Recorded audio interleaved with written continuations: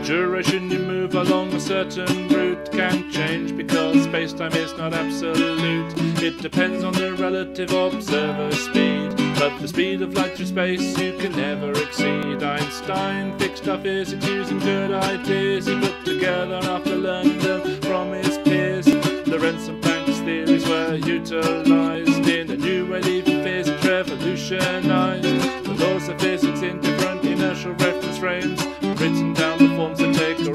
same. Things like momentum, length, and time must be corrected. So by relative speed they will be affected. Einstein fixed physics using good ideas he put together after learning them from his peers. Lorentz and Planck's theories were utilized in a new way, leaving physics revolutionized.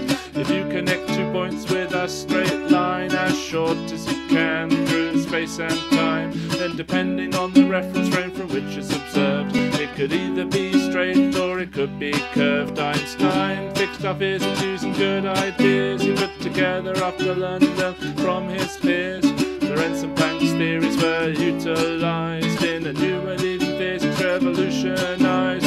Gamma is a factor that you could write as one. Subtract the square of what you get when you divide the relative speed by the speed of light, all to the power of minus 0.5.